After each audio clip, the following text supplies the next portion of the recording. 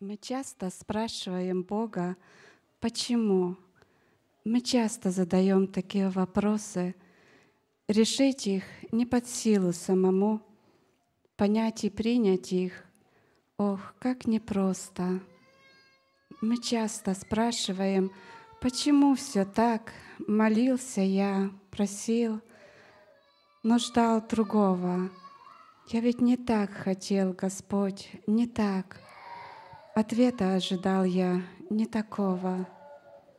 Нам часто трудно горькое принять, смириться перед волею Творца и, может, просто на колени стать, послушать Слово своего Отца.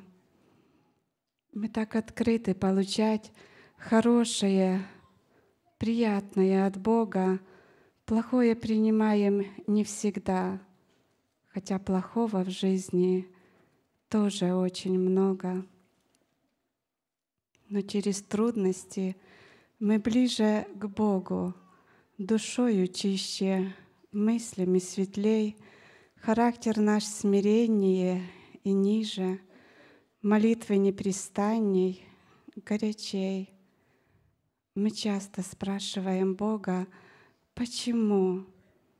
Ответ мы ищем, взвешиваем, ждем, но только в небе, наконец всему, на все вопросы мы ответ найдем. Аминь.